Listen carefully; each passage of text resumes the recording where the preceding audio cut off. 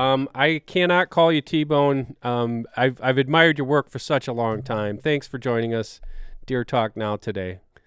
I, I Oh, man. I see you have some go- gobblers in the background. That's what I'm thinking about right now.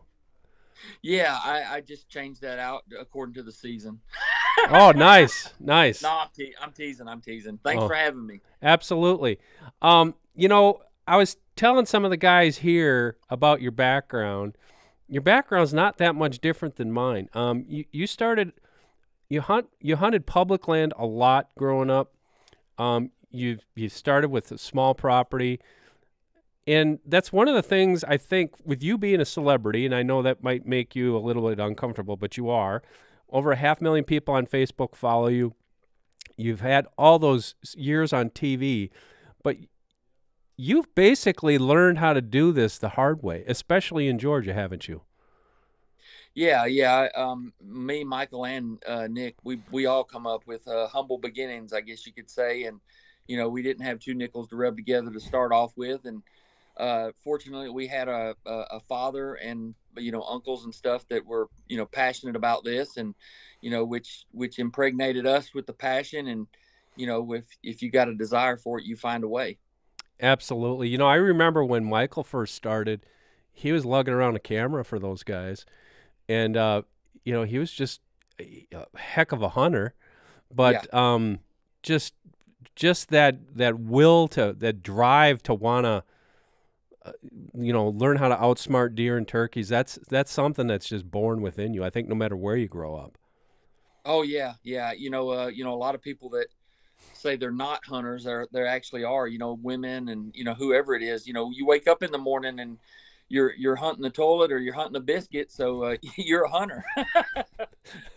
you are a hunter i don't know about how many gatherers but i, I know we're all hunters um, That's right. so take us i know you've done a million of these podcasts and and you've you've told your story a million times like i have over the years but you started back uh, picking up a compound bow what late 80s Yeah, that's Look- right. Uh, graduated high school in '86. Uh, I, you know, of course, I was hunting since I was five or so. My dad had bought me a a, a recurve when I was like ten for you know having good grades, and I had a bad experience because uh, he bought me a bow that was too much for me, so you know couldn't pull it.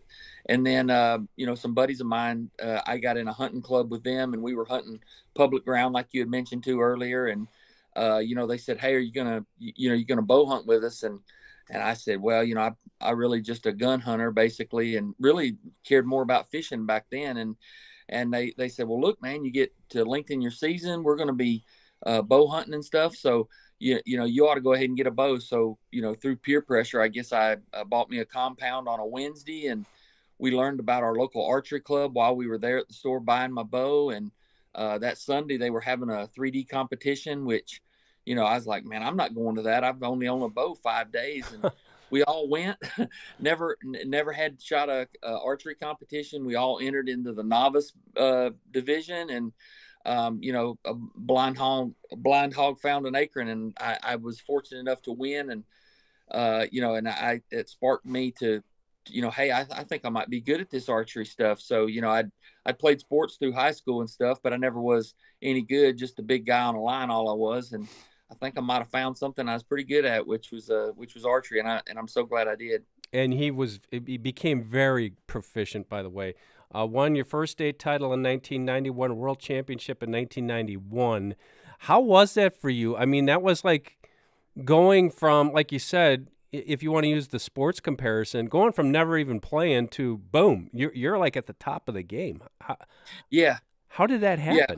How did you did you teach yourself did you have other people showing you how to shoot or Um, I, I get, you know, back then there was no internet, you know, of course, you know, you couldn't look up stuff. So I, I just became a sponge, you know, anything between, uh, me and my friends would go to the local, uh, sporting good or, or archery shop and we'd rent hunting videos as well as, you know, but, you know, the, the Dan Fitzgerald, the, oh yeah the way back when, uh, you know, watching those type of videos and then also magazines, deer and deer hunting, uh, you know, uh, all, looking at all the magazines, reading the articles, uh, you know anything that Chuck Adams wrote, or uh, you know uh, one of my idols from back then, com- competitive wise, is Randy Ulmer, which you know he and I are friends even to this day. So, wow. um, you know, I just I couldn't read, I couldn't get enough of it. You know, anything that was about it, I was just a sponge. I would ask people when we go to competitions.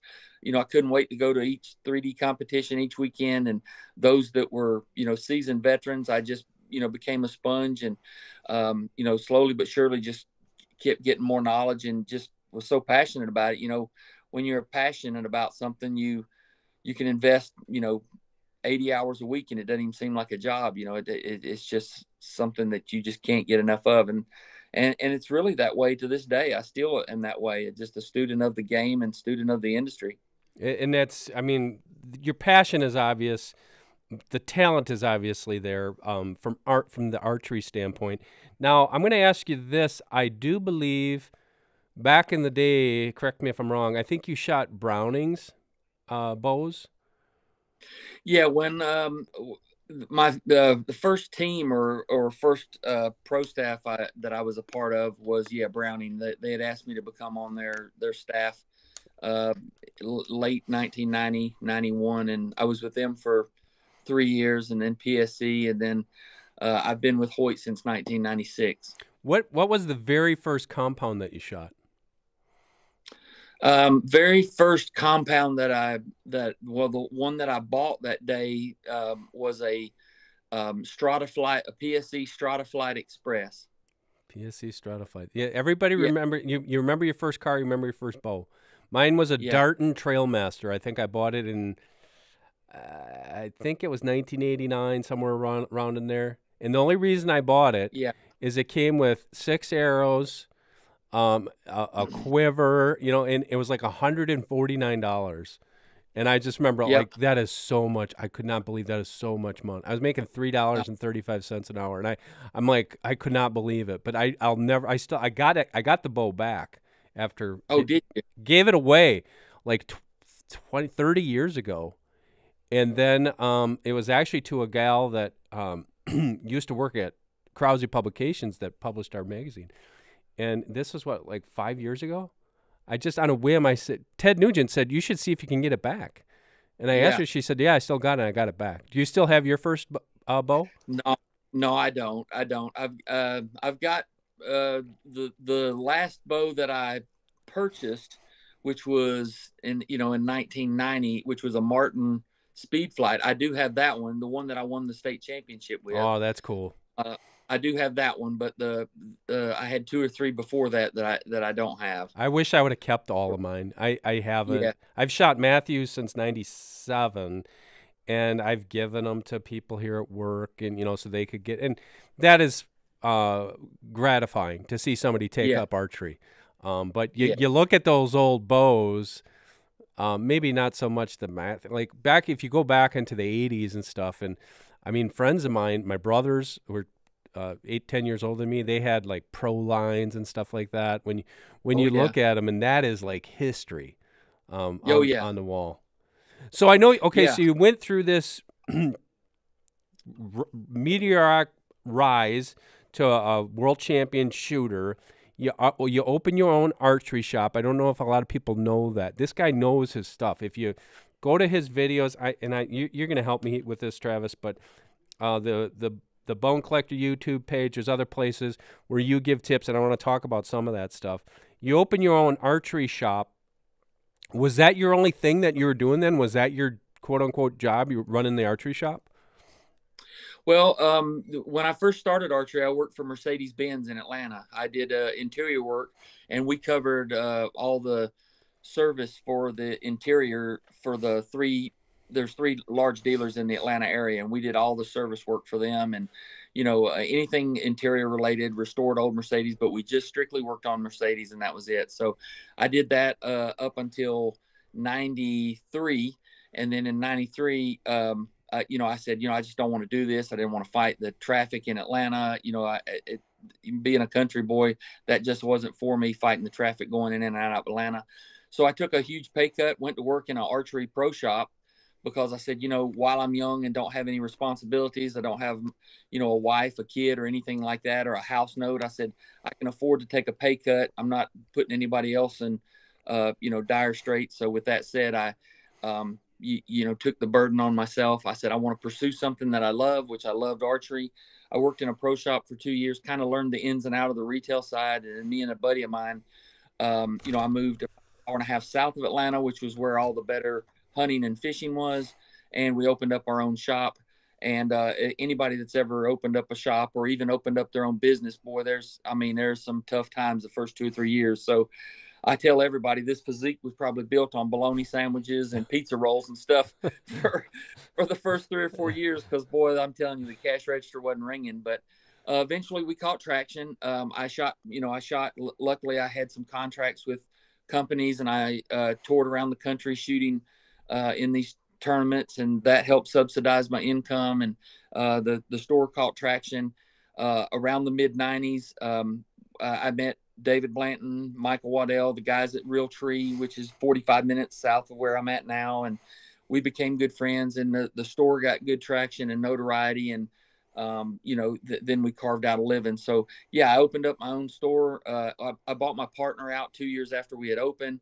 Uh, and then, you know, I had the store for 12 years and, uh, you know, I actually sold my business in 2006 or seven after uh, we had uh, you, you know, kind of got a good foothold with doing stuff with Realtree and Jeff Foxworthy uh, on, you know, camera and doing the outdoor industry. And then, of course, uh, we started Bone Collector in late 2007 and 2008. Wow, it's been that long already? Wow. Yeah. 2007.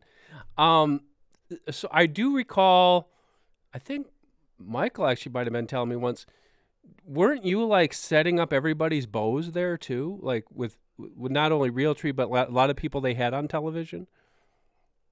yeah so so in uh, once i met them you know david blanton lives in the same town you know i, I basically rolled the dice it, it if if you've ever it, it, you know if you're in the industry and you can attest to this i'm sure for for all the years and stuff but you see ads you know a lot of these companies that have ads and the guy would be holding the bow and you could tell he'd never shot a bow before and his draw links too long or there wouldn't be a peep sight in the string and you know that kind of things it didn't look authentic. So that kind of thing that that kind of bothered me and then plus you'd see people hunting on tv and me being a you know a, a tournament uh, person you know i just couldn't get enough of it you know no matter how accurate no matter how good you are in archery you can always get better.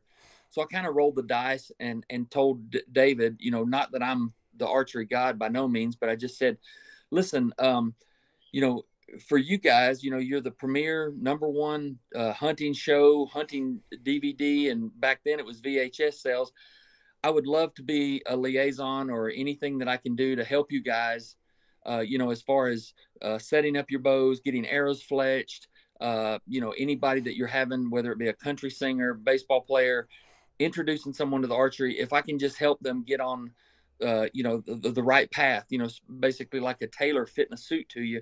Once you start and have a great experience you're going to spread the positivity positivities of archery and bow hunting to the rest of the world. And that that relationship just worked really really good. And and even to this day i'm still you know that's what brought me to the dance so to speak. So i'm still setting up you know uh you know people within the industry or anybody that needs help. And then like you had mentioned earlier you know doing tips and stuff you know and and and i hope this comes across you know as humble or appreciative. I'm by no means there's a lot of great uh, you know archery gurus out there and a lot of uh, knowledge to be learned throughout youtube and and you know the pages of magazines and stuff like that. But you know i i, I you know hopefully i'm helping people uh, when i give little tips and and and still setting up bows for uh, you know, celebrities and people within the industry and, and close friends and stuff. So I'm still doing that, you know, even today. I've watched a lot of your videos and I appreciate everything that you put out there. And plus, it is, you are humble about it because you do say there's a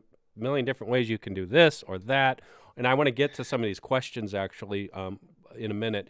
But um, so I, I, I do want to touch on that. Well, first of all, um, Bone Collector, you guys are still wh- where's Bone Collector today? I mean, you started in 2007. What is Bone Collector in 2024? Still doing well. Uh, you know, a great website, uh, and and still we're uh, you know a top tier show that's on the Outdoor Channel as well as uh, you know, w- one of the most uh, watched on My Outdoor TV, which is a streaming service where you can go and, you know, watch all the old episodes of Bone Collector. Uh, we still do 23 originals a year. You know, a lot of shows are just a two quarter show, third and fourth quarter, but, you know, we're real fortunate. We do 23 originals a year.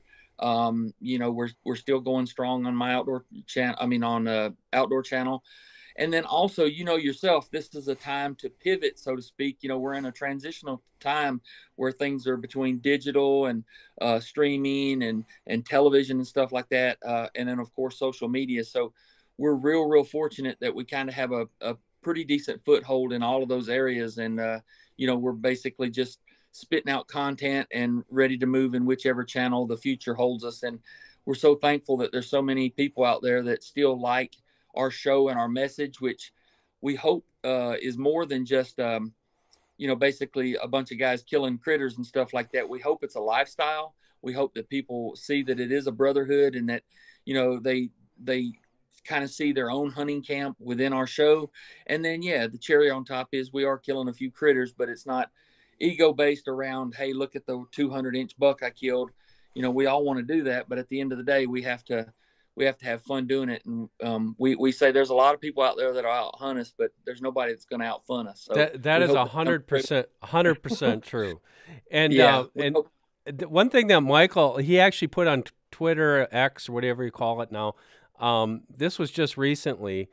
Um, he said he's kind of over the whole you know trophy thing. It's not that he doesn't want to kill a big buck. Every everybody yeah. likes that, but it and that is something that Realtree specifically, it was that lifestyle. Uh, what, what was there? It was always like uh, faith, family, and the outdoors. Whatever the one thing that Bill came up with back in the day, and it is true. And you see that I've seen it, um, not only in Realtree, but uh, I, I think what you guys brought to it is that fun factor without being disingenuous, and I think that is is helped I know a lot of people have modeled it, and I think a lot of people have um, uh, adopted the life outdoor lifestyle more, uh, embraced it more because of it. And I think that's a testament to what you guys have brought to. It's been what is it? It's been over 15 years. So I mean, it's like that. That's pretty uh, something. I think hang your hat on. Yeah, thank you very much. Yeah, and the and the phrase was family, friends, and the outdoors. That's it. Real true. Yeah. yeah, and uh, you know, and it all kind of started even more so than that because basically we all got our me, Michael, and Nick got our uh, beginnings from Realtree, which uh, which was Realtree road trips. You know, that started back in 2003, which was, you know, uh, no pun intended, a different kind of hunting show. And Michael started that, and uh, you know, and then me and Nick was, you know, guest host with that, and and and on that show as well. So, you know, it all started from back then, and you know. Um, at the end of the day, you know, you know, it's first come first serve as far as the hunting hunt, hunting goes. You know, you know, if the 200 incher walks out there first, by all means, we're going to let him have it. But you know, if a a, a mature 135 comes by, he's gonna he's he's arrow worthy as well. That's a hundred. I agree with you on that. And in my case, I you could knock a few inches off of that, but um, yeah, we we won't go there. Deer Talk now is brought to you by the all new Edge 2 Pro from Moultrie Mobile. Never miss a moment with a 0.3 second trigger speed and a 100 foot detection range. Reduce false triggers, extend battery life, and fine tune your captures with Moultrie Mobile's latest AI integrated technology. For more information, visit moultriemobile.com. Okay, so let's get to these are actually some of the the call. we're not going to get to all of this. Um, I know that you, I don't want to say preach, but you emphasize uh, uh, at least four things. Um, now, this would be when you, the thing I appreciate when you say anybody can learn anything, whether you've got 30 or 40 years of archery experience or one year of archery experience, um, you can always tweak things. And the four building blocks that I've picked up from what you have written about and what you have done in your videos would be um, arrow building, um, speed considerations, FOC, and broadheads. So let's go through those four quickly. Um, tell me, in your opinion, to you, what makes what is the best combination for a hunt a deer hunting arrow? Yeah, uh, for, for, for deer hunting and, and when I speak, just to generalize this, I try to speak of the the meat and potatoes of the Billy Joe lunch bucket, the average hunter, which is a 28 inch draw to 30 inch draw. You know, it, absolutely the application is going to change based off if you're a shorter draw length or you can't pull a, you know, uh, you know, 60 to 70 pounds, but a 60 to 70 pounds, 28 to 30 inch draw. Um, what what I like to do, if you're talking with a bow that is, you know, a new bow that is, you know, three to four years old, or, or you know, not a real old bow, um, there's a speed range that I, that I like to. I, I think that the speeds that are that are uh, published, you know, of IBO of 340 and 50 feet per second, that's not un, that's unrealistic in my opinion, and that's unnecessary speed. Deer and deer hunting, you know, we're talking. Uh, most of your shots are going to be under 40 yards uh, anyway. So with that said, you know, 320 feet per second is not going to be used until you shoot way beyond 50 yards. So let's let's let's harness that energy and let's harness that speed into a uh, a, heavier era and a more lethal era and a better penetrating, a more forgiving, and a, a quieter bow. So with that said, is pull the most weight that you can comfortably pull, not not one that you're walking all around. Let's just say that you end up harnessing down to 67 pounds is where you're comfortable at. You can shoot that. Then you take an arrow and let's just start with like say 475 to 500 grain arrows shoot that through the meter with your draw length and everything that you have set up. See where you're at. You know, if you're at 300 feet per second, that lets you know that, you know, I can trim some fat off of that speed. I can manipulate that arrow. I can go with a heavier point weight. I can go with a heavier insert system. Uh, and I can go with a heavier arrow if I want to, a, a, a stiffer spine. Keep the pounds the same, and then you can basically trim that back so that you're in that let's just say 260 to about a 285 range. To me, that seems to be the best uh, hunting speeds, meaning like you're not giving up too much on trajectory, but yet you can afford to put all your your build and your efficiency into a good quality arrow with a higher percentage of FOC, and you're not giving giving up anything on the um, uh, on the trajectory that is most needed under 40 yards, if that makes sense. Yep, 100%. Yep. Uh, so that that's what I, I I mean. All things need to be considered, but but the the speed range once you've determined your draw length and you determine the comfortable poundage, then I try to land somewhere in that.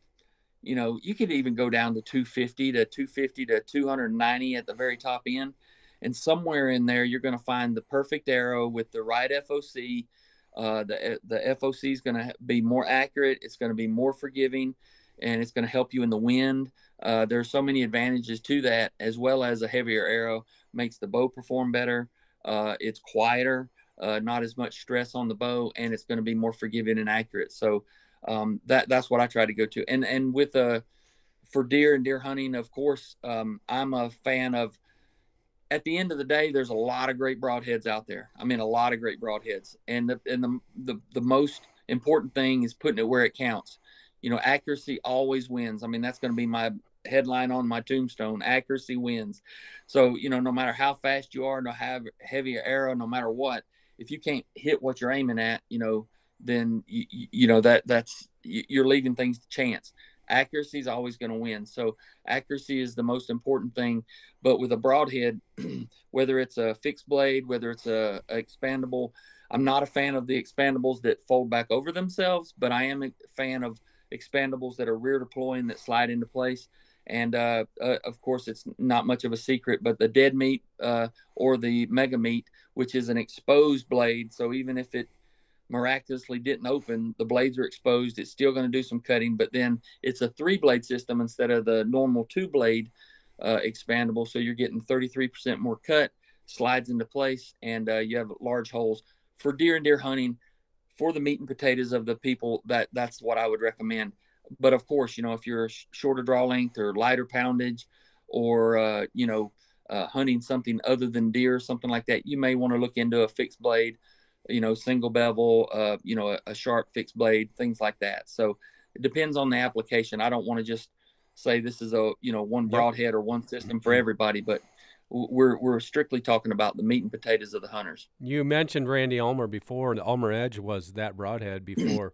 Before uh, Sevr came along. Um, you know, that's what I've been shooting, and I don't shoot a lot of weight. Um, I'm down to, and that actually came from Ted Nugent and Mark Drury, who who both went down 20 years ago, and I, I'm down to Yep. I'm down to 54 pounds just because that's what's comfortable with me. But you you got so much into that couple minutes that you talked about there. I wanted to back up and talk about.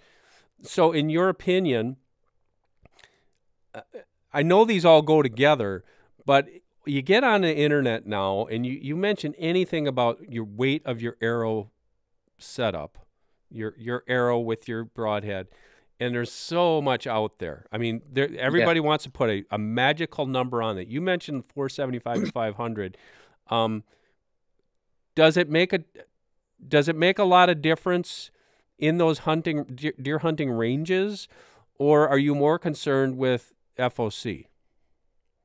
I mean, the, the just the, the sheer weight of the the the arrow, um, or, Yeah. or or opposed to how everything is going together. Well, um, you, you know, th- there's so many different combinations and there's so many different uh, applications. Something that we need to start breaking down because so many it gets thrown around. Uh, like you said, it's being talked about so much for the last two or three years, and even it's still being talked about. A lot of people say heavy arrows. Well, one person's heavy arrow may be a 550 grain arrow, and then another person's heavy arrow doesn't even begin until 650, or another person's arrow is a heavy arrow. Wow, you're shooting 475. That's a heavy arrow. So we need to just talk about the weights, you know, basically. So to me, a heavy arrow is 600 and beyond. Um, I like, you know, I, I to me for most anything in North American continent uh, is I like the benchmark to be around 500 grains. However, you know, I'm not con- going to condone condone someone that wants to shoot 450 grains.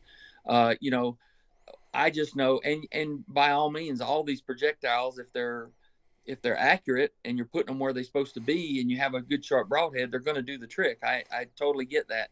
But the um, the FOC, I mean, it's been proven that it's better in the wind. It's more forgiving.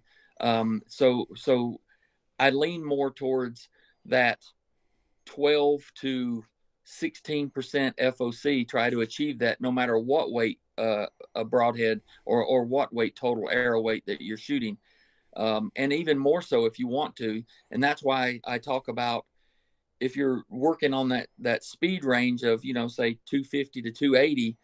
There's so many different combinations that you can do. You know, like I can go to a little lighter grains per inch shaft and up my uh, you know a stiffer spine, lighter grains per inch, and then I can up the FOC. So I've got the mass weight of a 475, but then uh, my FOC may be 18%, which is great. You know, that, that's even that's even better by putting the mass weight up front.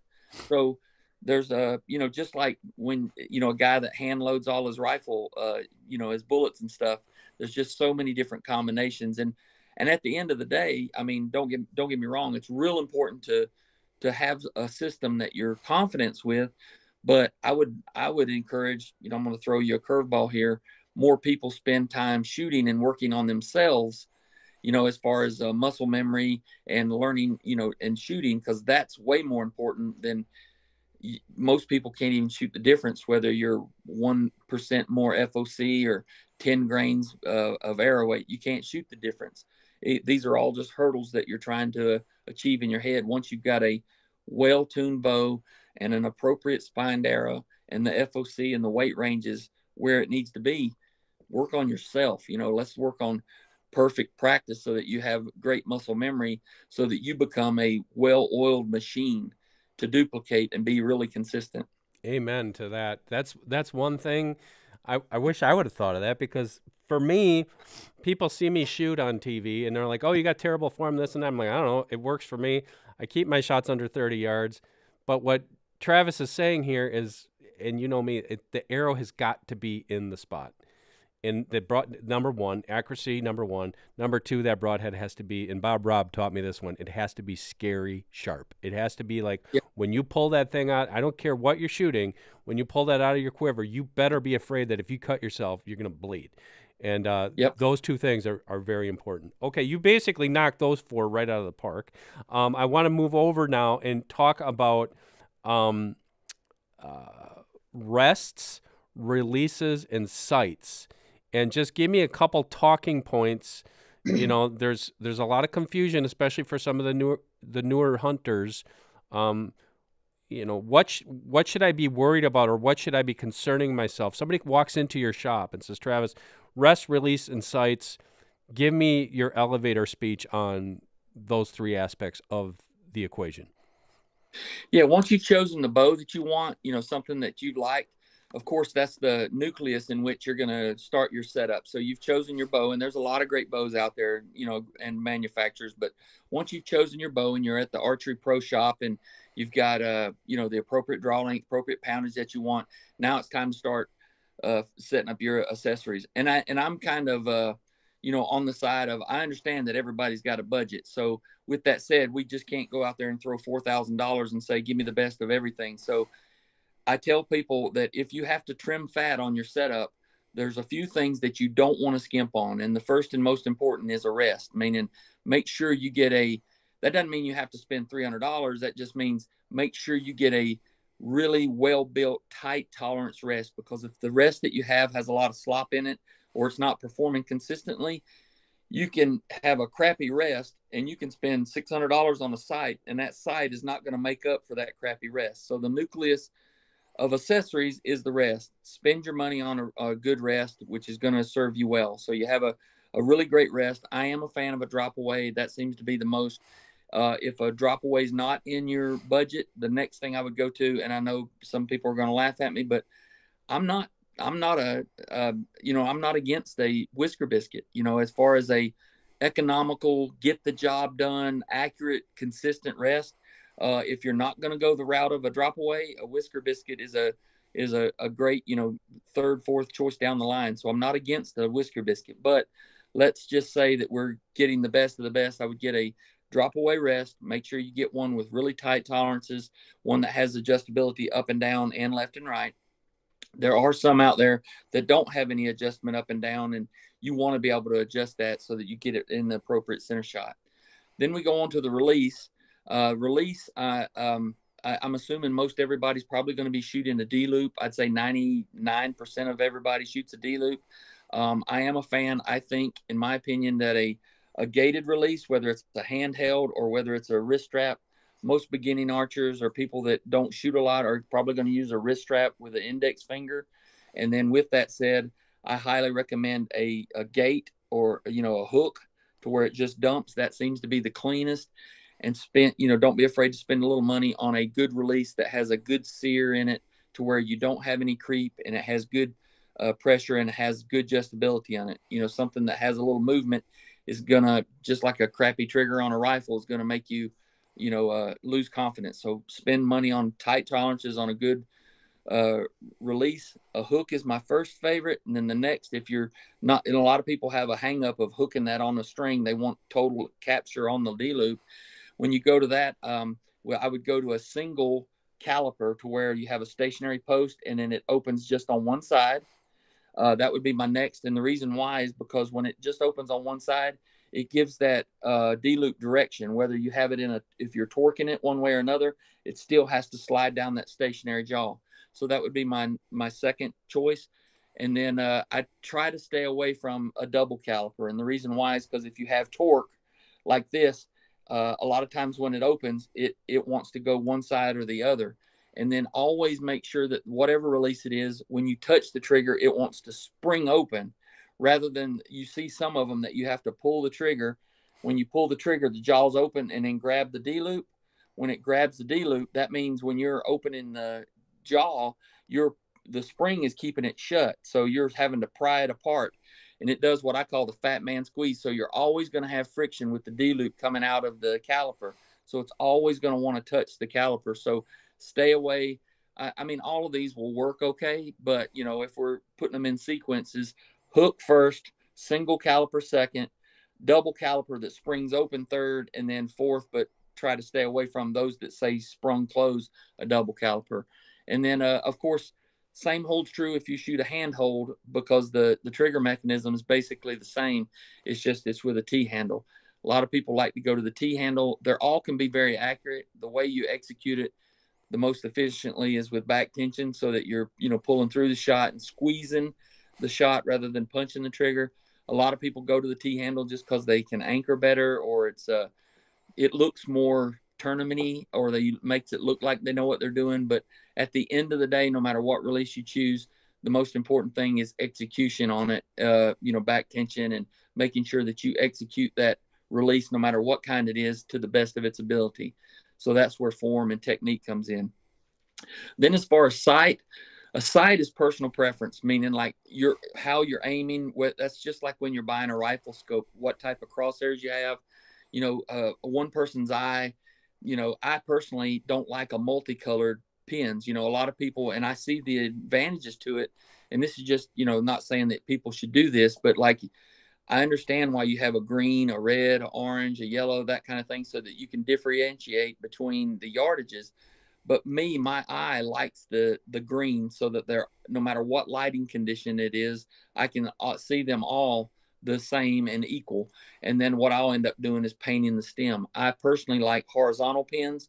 I never have been one. You know, they're real popular to where you have the vertical pin, and then you'll have you know, uh, marks in there. I like to be able to see in between my pins so that, you know, we know the trajectory of the arrow is always this way. I like to be able to see the depth of where I am on the animal so that if I'm Kentucky windage, I'm a fixed pin guy and I'm a deer hunter. So, you know, anything under 50 yards, a deer coming in on the rut, I don't want to have to be adjusting it. I want to be able to hold a little high, hold a little low, see if I'm going to be able to um, get it under a limb or you know, I'm going to, all that is being told with the story of horizontal pins. So that's why, you know, I like horizontal pins. By all means, whatever you're aiming with, you have to have the utmost confidence. So that's what I say with your aperture, you choose what your eye likes and what you're comfortable with and you have the most confidence in. And as far as the makeup of the sight, you know, most all sights, I mean, up until the last two years, I mean, I was hunting with a $39 uh, dead ringer sight. So, th- that's where you can, you know, it, it, it's it's not micro adjustable. It has windage left and right and gang adjust up and down, and it had all the features that I needed. But there are some really nice sights out there in, in this day and age that can do a lot of things. Make sure your sight is, if you're taking longer shots, of course, that it's capable of being leveled first axis, second axis, and third axis. There are a lot of nice sights out there that do a lot of nice features. And now I'm glad for the last couple of years, I'm, I've been shooting uh, uh, a, it's a best of both worlds. So I can I've got a um, a mover as well as fixed pins, so that you know while me and my friends, it's always nice. You know, yeah, I'm not going to shoot a deer probably beyond 50 yards ever uh, the rest of my life. However, it sure is nice to be able to play around and work on your confidence shooting at 100 and 120 yards and you know shooting at animals in the yard. It it, it adds uh, to your confidence and stuff. So I've got the best of both worlds. Plus who's to say that I don't shoot a deer at 30 yards and the deer drops and I make a mistake and hits it and it runs out there at 90 yards and is wounded? It'd be nice to know that I could dial it up and get a second arrow into it. You know, that's worst case scenario. You hope you never have to do it, but if you practice that, you're consistent enough to do so. So there are a lot of nice sights out there. Just research them, you know, and, and look at all the features. Um, uh, and again, if we break it back down, I always tell everybody, of course, your bow, spend your money on an arrow rest, just a just to uh, reiterate, arrow rest, a good release. Your arrow build is real important because you're going to have this set of arrows for a long time. Carbon arrows will last you seasons and after seasons. Short of you losing them, they're going to last a long time. So spend some money on a good arrow build, good components to where you get good stainless steel because so many people spend all this money, you know, twenty five hundred dollars on a setup, and then they go buy a hundred dollar set of arrows with cheap fifteen cent components in there, and you know as soon as you hit a, a, a bone or a rib or something like that, that that'll just peel out, you know, and, and it once once the arrow or the broadhead is broke away from the shaft, you've lost all chance of any more penetration. So you want that stuff to stay together. You want that brick wall uh, toughness to be able to go all the way through. You know, at the end of the day, it's it's okay if the the broadhead's gnarled when it's on the other side of the deer, but the key thing is let's get it on the other side get, of the deer. Let's get, get it through the Get it on so, the other uh, side. Yes.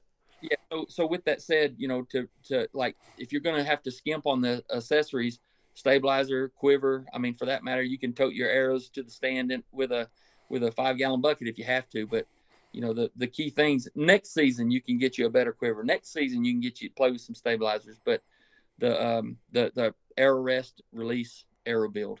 Excellent. Uh, that is about the best description I've ever heard. Um, especially um, your description on the releases was fascinating. Um, I I knew the rationale, but to hear you describe it, if you guys have problems, sometimes you're looking for uh, you're looking for bigger problems than what you actually are experiencing. It could be something as simple as maybe upgrading your release, or maybe you know. Right. Um, uh, upgrading upgrading your components, um, things like that. Travis, I would love to sit here all day. I know we can't. Um, I did want to touch on shortly, uh, briefly, and I hope you don't mind because so many people follow and so many people ask. You had some health problems. Um, how are you doing?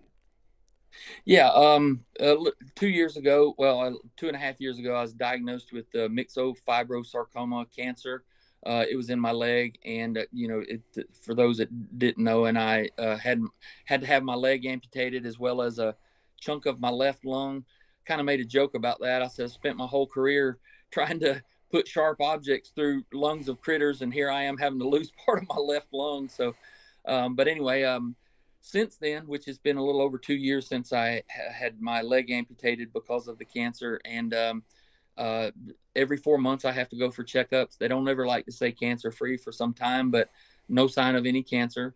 Uh, doing well there, you know, uh, trying to focus on losing some weight. So, uh, it's it's slow go, but um, we're we're moving in the right direction. But uh, no, all's good. I'm I'm getting around. I'm able to still you know do a lot of stuff on the farm. I'm still hunting, uh, still shooting my bow regular, working on bows, turning wrenches, and uh, you know still able to hunt. You know turkey hunting, deer hunting.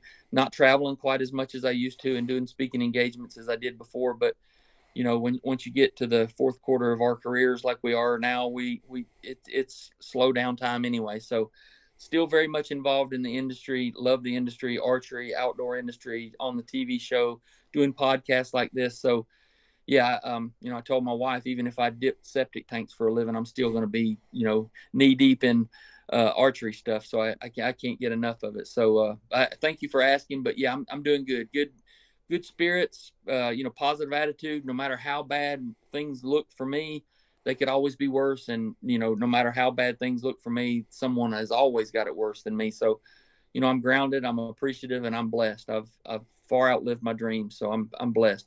That is something that I know that uh, all of your fans, me being one, um, appreciate is your attitude. Your your zest for life is is is apparent, and um, you've taken whatever curveballs have been thrown at you, and you just say, keep bringing them. I, I, I think that's something to be.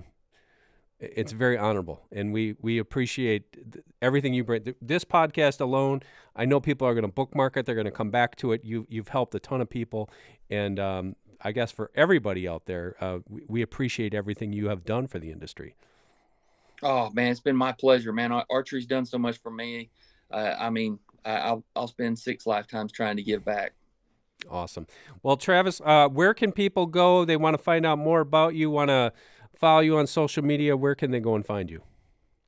Well, of course, you know anything Bone Collector and Realtree. Uh, you know we're we're splattered over their their pages, but for me personally, it's T Bone Outdoors, Instagram, Facebook, uh, Twitter, and TikTok. So on all those, uh, we're actually uh, ramping up our YouTube page as well right now. So we're in a a, a, I guess a reconstruction mode, so to speak. Uh, and so uh, shortly we'll be having some stuff on YouTube as well. Awesome. Well, thank you, Travis. We very much appreciate it, and good luck at when you get after those gobblers. I see that one right now, and I just want to go out there and blow a crow call to find out where he's at. I hear you. Hey, hey, thanks for having me so much. I appreciate it.